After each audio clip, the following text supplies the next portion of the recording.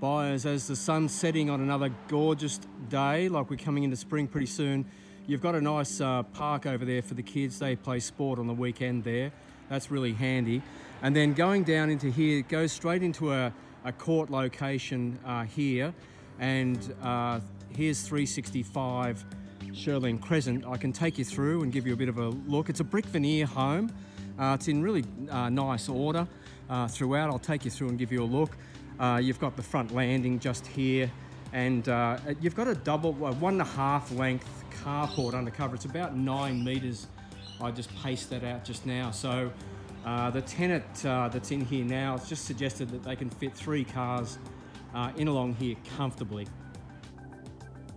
So buyers, come with me. I'll take you through this three bedroom home. It's, uh, it's got quite a good sized living space in here too, as you can see. And then uh, turning around here, this is a second living area. So you've got sort of a more family room in here. If you were to upgrade the carpets at one stage, you would consider uh, some tiles and things like that going through there. So wandering through the big lounge room, you've got another formal dining uh, in here. Uh, and every quite a lot of people actually use it for a study nook like they've got um, happening there. Then into the kitchen, you've got a sort of a, a timber kitchen in here Good sized benches, electric cooktop and electric wall oven. Uh, not a bad size fridge to fit in that gap just there. And um, you've got a split system both in the family room just here and another one in the main bedroom, which I'll show you in a moment.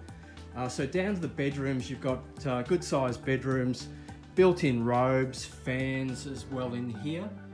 So moving back down through uh, the home, the second bedroom, once again, quite a good size uh, in there. Robes and fans. And the master bedroom, it's uh, like it's a king size room actually. Uh, so you've got the built-in robes and once again fans. There's that other split system that I mentioned to you once before, just earlier.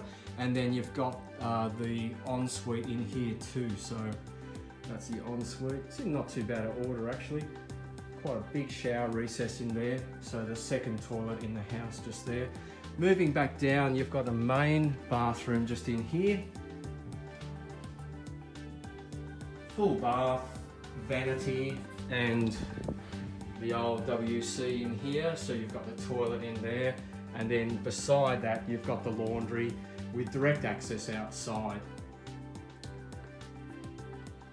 Okay buyers, I'll take you outside now. This uh, nice secure private yard.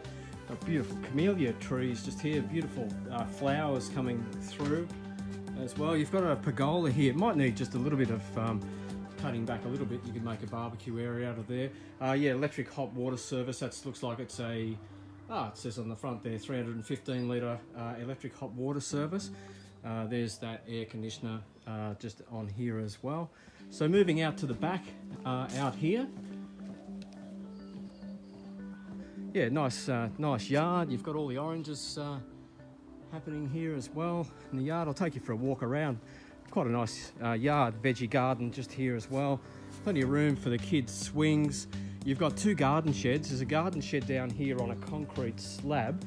Then you've got another one just down here full garden shed. Uh, if it was me, I would probably want to remove that uh, later on down the track if you want to use those gates again and then that will grant you access right out to the back of this block here and then you could re put another garden shed down the back there somewhere or get rid of it altogether.